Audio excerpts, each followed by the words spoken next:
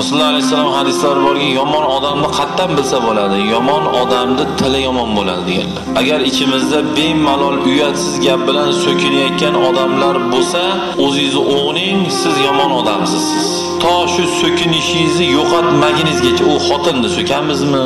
Nevarani so'kamizmi farqi yo'q. O'zimiz ko'chaga chiqqanda birovlar bilan o'tirganda o'zimizni madaniyatli ko'rsatib kamtar ko'rsatib taqvodorga o'xshatib ko'rsatib uyni ichiga kirganda shayton ham qochadigan odam bo'lmaylik biz.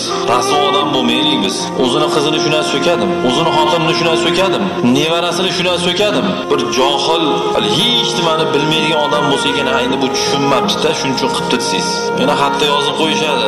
Juma shu yerda o'tiradi peshonangizda deb u amal qil o'zingiz ishingiz man qo'lingizdan tortib amal qiling demayman man kerak bo'lsa hozir ichingizda balki mana so'kib o'tirgandir shu so'kinadigan odam. Egrini ko'ravering lekin o'zingiz uchun bilib oling o'shanaqa odamlar. So'kinyapsizmi? Biling siz yaxshi odam emassiz siz